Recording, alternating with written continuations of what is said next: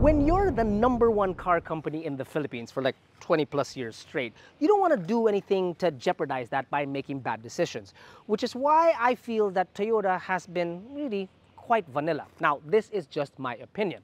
It is a fact, however, that they have since stepped out of their comfort zone with their uh, mass market cars with the launch of the extremely popular Innova in Zenix form, which is a hybrid. To say that I was excited about that launch would be like the understatement of the year.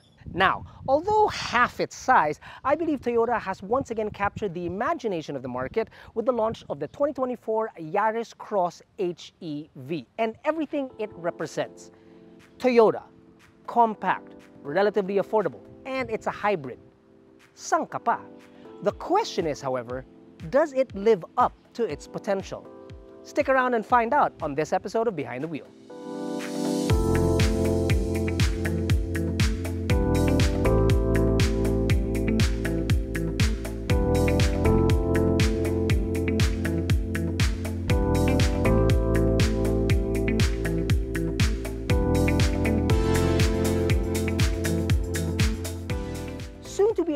On iOS, but now currently available in the Google Play Store, whip out the AutoDeal app and you'll see that you can get your hands on a Yaris Cross HEV for just under 1.6 million Philippine pesos.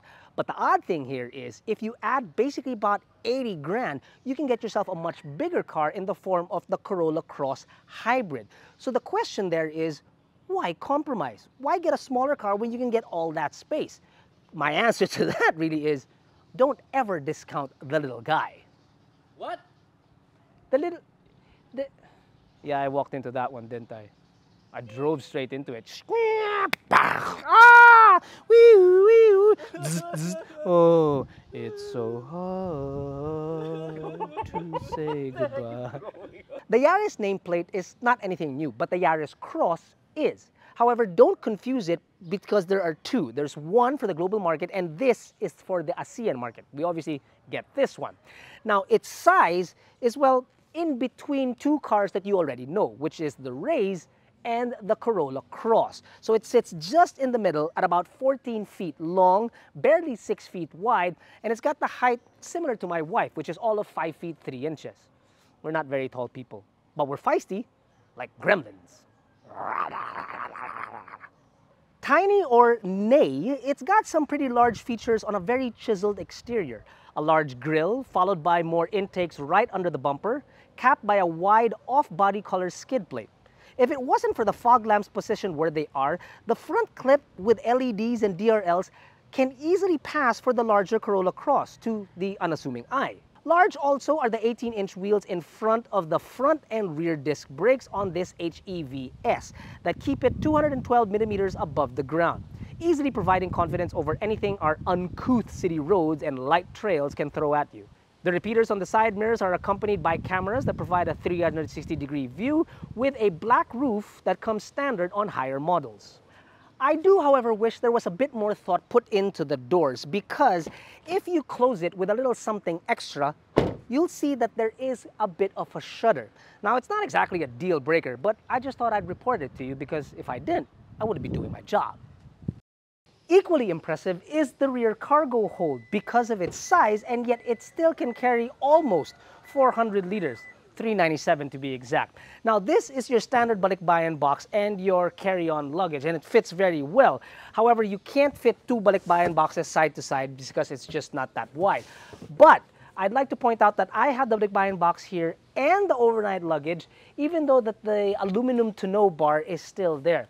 You take that out and my goodness, it expands exponentially. You can fit easily three balikbayan boxes including the overnight luggage.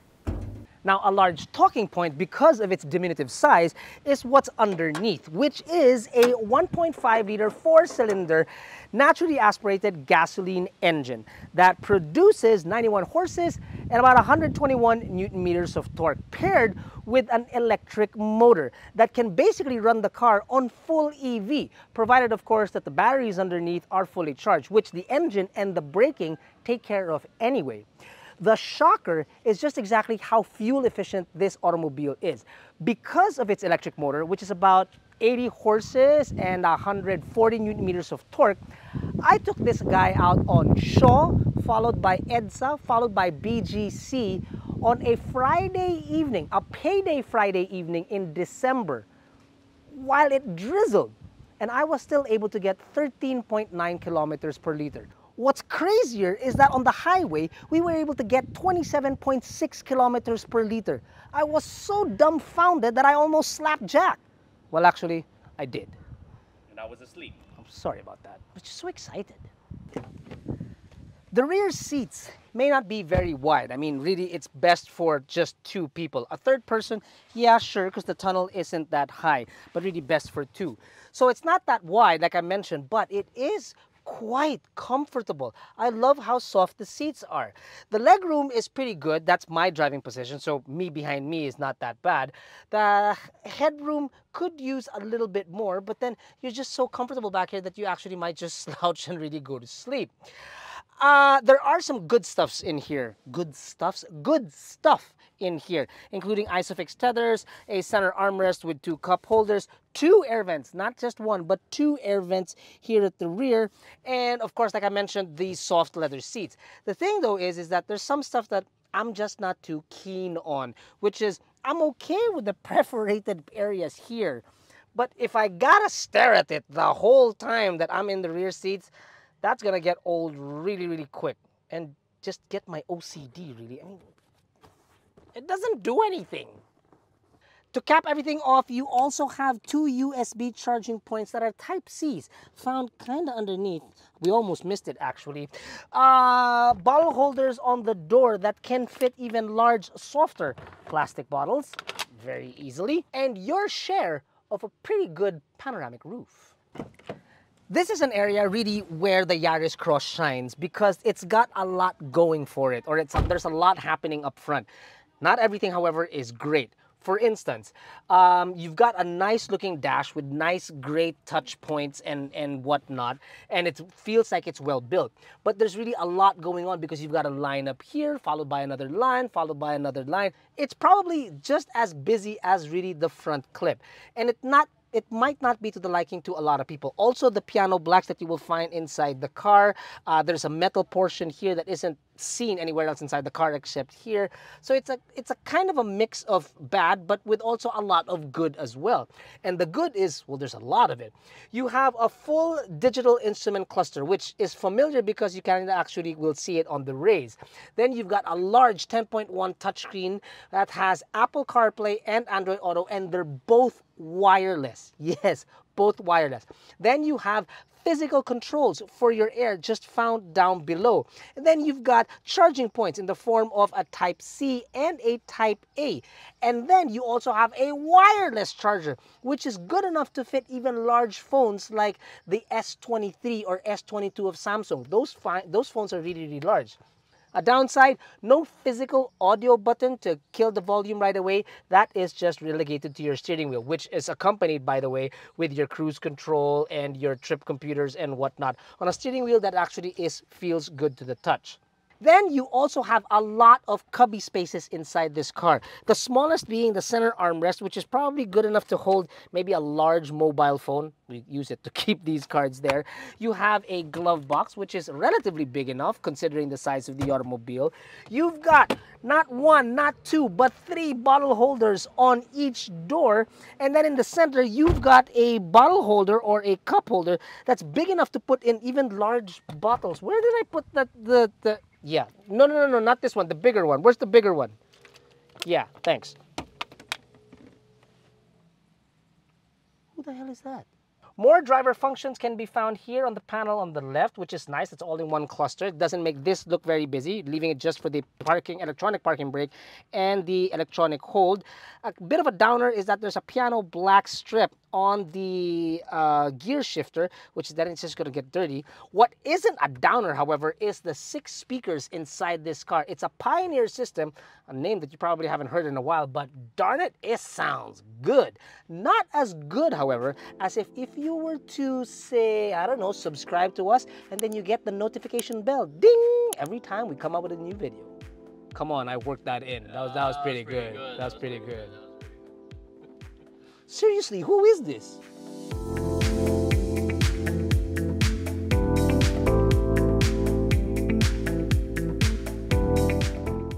It was a good four minutes before I realized that the car had been on without the engine running. It was in full EV mode. When the engine did finally turn over to charge the batteries, I said to myself, why is it so noisy? I first thought that the engine noise and the vibrations that were coming into the automobile were a bit harsh. But then I realized not so because I was just used to, just at those four minutes, used to the car being so absolutely quiet, just going, and then all of a sudden the engine kicked in. So if you ever find yourself inside this automobile thinking that the engine is a bit too loud, you might want to think again because it's actually because you got used to the EV mode. Now, I'm not going to say that it is the quietest engine on the planet. No, not at all. In fact, that's probably not the only thing that's kind of noisy in here. If you allow me, if I open this roof,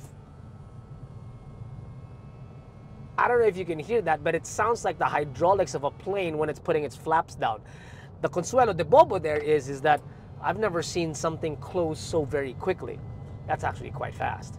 Suspension is pretty good. I'm quite comfortable inside the car. I'm not being thrown left or right when I'm going through the twisties, even though I'm sitting above 200 millimeters of ground clearance. And going over potholes seems like it's much more stable than you'd expect. See, inside this car, because of the ground clearance and knowing that essentially people will say that this is basically a Daihatsu, I'd expect a little bit more rattles like what we did on the door when we closed it.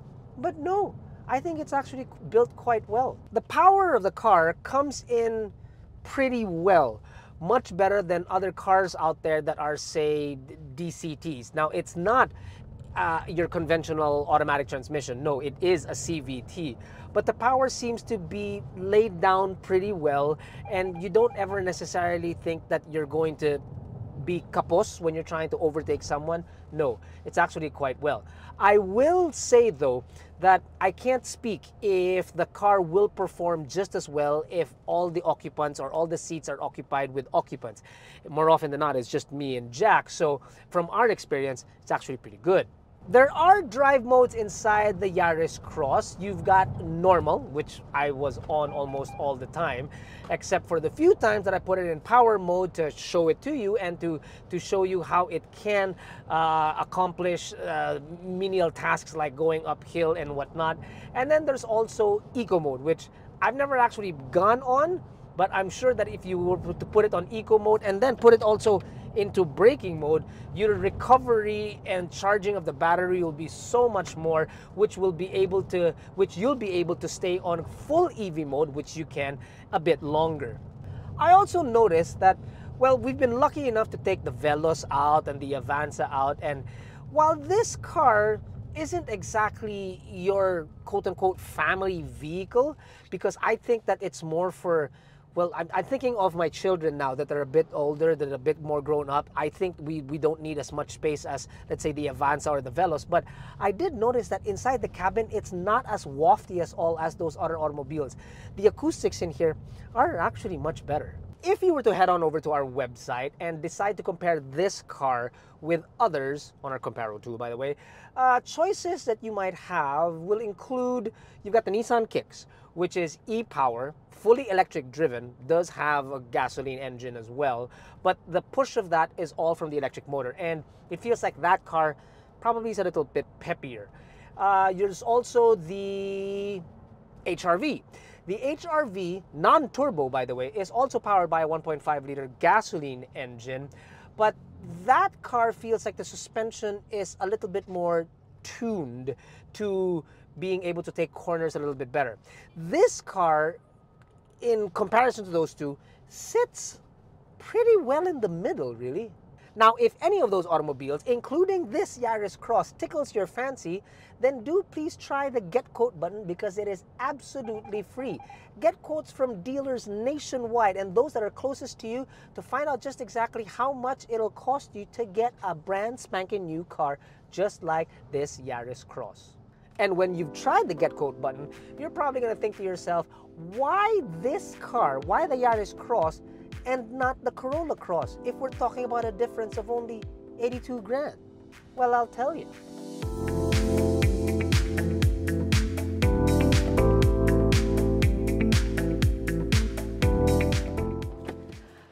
I do not believe that anyone should write off the Yaris Cross as a compromise to the Corolla Cross because, well, you've seen it. It's densely packed. It's got so many features to it. Let's go back to the question of does it live up to its potential? Look, no car is perfect. We've found faults in this automobile, a few vibrations and rattles here and there, literally and figuratively, but they're really not enough to rock the boat. So to answer the question, yes, I do believe that the Yaris Cross does live up to its potential. And I also believe that Toyota's got a real winner here.